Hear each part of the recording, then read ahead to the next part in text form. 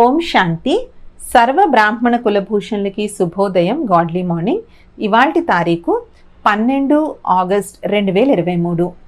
ఇవాల్టి వరదానము బ్రాహ్మణ జీవితం యొక్క విశేషతలను తెలుసుకుని వాటిని కార్యంలో ఉపయోగించే విశేషత సంపన్న భవ. బ్రాహ్మణ జీవితం యొక్క విశేషతలను తెలుసుకుని వాటిని కార్యంలో ఉపయోగించే విశేషత సంపన్న భవ. డ్రామా యొక్క నియమానుసారము సంగమయుగంలో ప్రతి బ్రాహ్మణ ఆత్మకు ఏదో ఒక విశేషత లభించింది. మాలలో చివరి పూస అయినా అందులో కూడా ఏదో ఒక విశేషత ఉంది. కనుక బ్రాహ్మణ జీవితం భాగ్యము యొక్క విశేషతను గుర్తించండి. ఈ విశేషతను కార్యంలో ఉపయోగించండి. ఒక విశేషతను కార్యంలో ఉపయోగించారంటే ఇతర విశేషతలు వాటంతట అవే వస్తాయి. ఒకటి తర్వాత బిందువు పెడుతూ పెడుతూ అన్ని విశేషతలలో సంపన్నం అవుతారు దీని కొరకు గురుజార్ దాది గారు చాలా మంచి విషయం చెప్పేవారు. ఏంటంటే ఏ విధంగా మాయ యొక్క పంచ వికారాలలో మంచి స్నేహం ఉంది.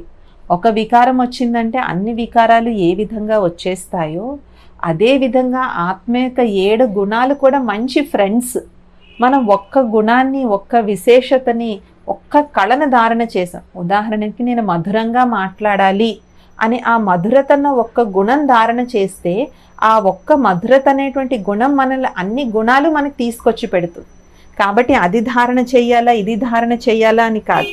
మన లైఫ్కి నాలో ఏ గుణము ఏ శక్తి ఉండాలి అని మీకు మనకు అనిపిస్తుందో ఆ గుణాన్ని శక్తిని కానీ మనం ధారణ చేసినట్లయితే అది ఆటోమేటిక్గా అన్నిటినీ తెచ్చిపెడుతుంది. స్లోగన్ మన్మనాభవ మంత్రము సదా స్మృతిలో ఉంటే మనసు భ్రమించడం ఆగిపోతుంది. శ్రీమద్ భగవద్గీతలో కూడా ఇదే విధంగా రచించారు. ఏంటి? మన్మనాభవ మధ్యాజీభవ. అదే మనసుని ఏకాగ్రంగా చేసేటువంటి సాధనము అని. అవన్నీ ఇప్పుడు బాబా మురళీస్ నుంచి వాళ్ళకు వచ్చిన ఇన్స్పిరేషన్స్ అన్నమాట. కాబట్టి మనసు భ్రమించకూడదంటే ఏముండాలంటున్నారు బాబా? మన్మనాభవ మహామంత్రము. ఇప్పుడు ఇవాళ అవ్యక్త ప్రేరణ స్మృతి యాత్ర సహజంగానూ ఉండాలి శక్తిశాలిగాను ఉండాలి. పవర్ఫుల్ స్మృతి ఒకే సమయంలో రెండు అనుభూతుల్ని తీసుకొస్తుంది. ఒక త ఒకవైపు స్మృతి అనేటువంటిది అగ్నిలాగా తయారయ్యి అన్నిటినీ భస్మం చేసే పని చేస్తుంది. రెండో వైపు పరివర్తన చేసే పని కూడా చేస్తుంది. మరియు సంతోషాన్ని తేలికదనాన్ని కూడా అనుభూతి చేస్తుంది.